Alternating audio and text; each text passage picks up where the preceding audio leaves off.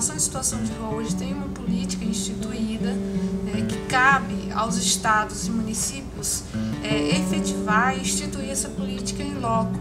No entanto, é, poucos municípios brasileiros e estados começou até agora a discutir a instituição dessa política. Então, nós acreditamos que o Ministério Público, como uma instituição essencial aí, né, na, na, no serviço da justiça, tem esse papel fundamental de cobrar, de ajudar, né, fortalecer para que os estados, os municípios implementem essa política, que é uma política que garante direitos fundamentais como moradia, saúde, educação, né, o, a, a ajuda para que essa população encontre caminhos né, de saída das ruas. Com relação aos catadores de materiais recicláveis, né, existe a Política Nacional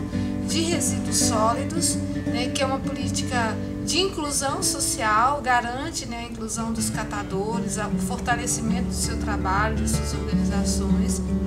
E, no entanto, existem políticas contrárias sendo implementadas nos estados, né, que vão na linha da incineração do resíduo sólido, do lixo, né, de, de expulsão, exclusão dos catadores de materiais recicláveis uma linha contrária ao que a política nacional prevê. Então, nós acreditamos no papel do Ministério Público como